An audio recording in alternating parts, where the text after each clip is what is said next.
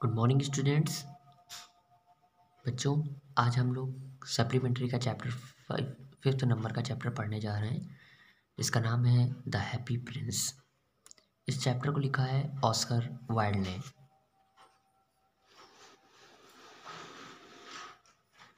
Actually एक city था और उस सिटी में एक स्टेचू लगा हुआ था बहुत ऊपर और ये जो स्टेचू था उसके ऊपर गोल्डन कलर का पानी चढ़ा हुआ था और उसकी आइस गोल्ड की बनी हुई थी।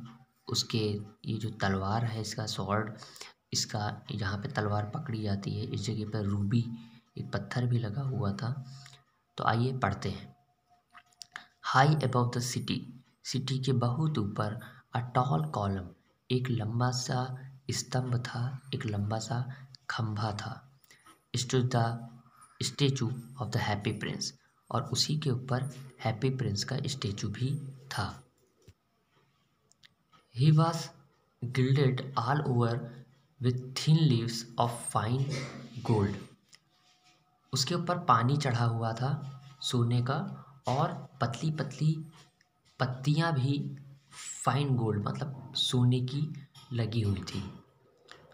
For eyes he had a two bright sapphires और आँखों के लिए दो चमकती हुई नीलमढ़ी भी थी and a large red ruby glowed on his sword head और एक बड़ी लाल रंग का रूबी पत्थर जो होता है वो उसके स्वाड हिल्ड स्वाड हिल्ड का मतलब होता है ये जो जहाँ पे तलवार पकड़ी जाती है इसको कहते हैं।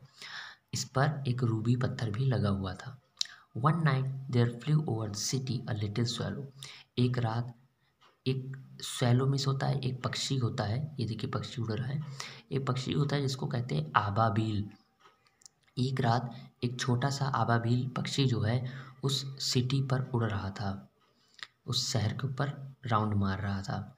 His friends had gone away to Egypt six year before उसके जितने भी फ्रेंड्स थे, वो छः साल पहले इजिप्ट चले गए थे। इजिप्ट कहाँ है? इजिप्ट मतलब मिस्र।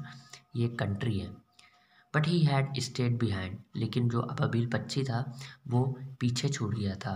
Then he decided to go to Egypt too इसलिए उसने भी इजिप्ट जाने का निश्चय कर लिया था। All day long he flew पूरे दिन वो उड़ता रहता था।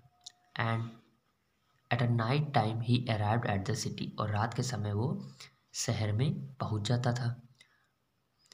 Where shall I put up he said उसने कहा, किसने? आबाबिल बच्ची ने कहा खुद से कि, मैं कहाँ पर बैठूँ?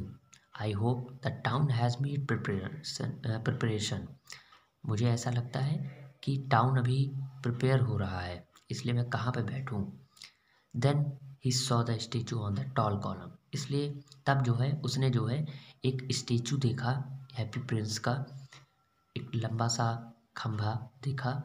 I will put up there he cried उसने बोला, वो चिल्लाया कि मैं वहाँ पर बैठूँगा।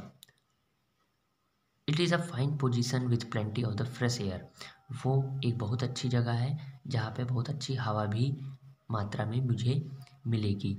सो ही एलाइटेड इसलिए वो नीचे उतरा just between the feet of the happy prince happy prince के फीट पैरों के बीचों बीच में, यानी कि यहाँ पर। I have a golden bedroom उसने बोला कि मेरे पास एक गोल्डन बेडरूम भी है है ना? मैं मतलब मैं कहाँ पर रहूँगा? एक गोल्डन बेडरूम में रहूँगा he said softly to himself उसने खुद से धीरे से कहा। एज ही लुकड अराउंड और उसने चारों तरफ़ देखा and he prepared to go to sleep और उसने सोने की तैयारी कर ली।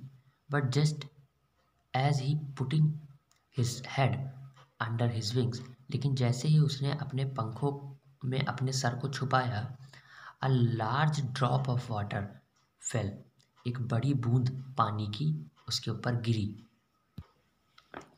ऑन हिम उसके ऊपर। वट अ क्यूरियस थिंग ये कौन सी चीज़ है? ही क्राइड वो चिल्लाया। There is a not single cloud in the sky आसमान में तो एक भी बादल नहीं है। The stars are quite clear तारे भी साफ़ दिखाई दे रहे हैं एंड ब्राइट चमक भी रहे हैं। And yet it is raining और फिर भी बरसात हो रही है। देन अनदर ड्रॉप फेल तभी दूसरा ड्रॉप भी उसके ऊपर गिरा। अब ऐसा क्यों हो रहा है? ये हम लोग कल के वीडियो में जानेंगे। ठीक है? आज हम लोग केवल इतना ही पार्ट पढ़ेंगे। Okay good day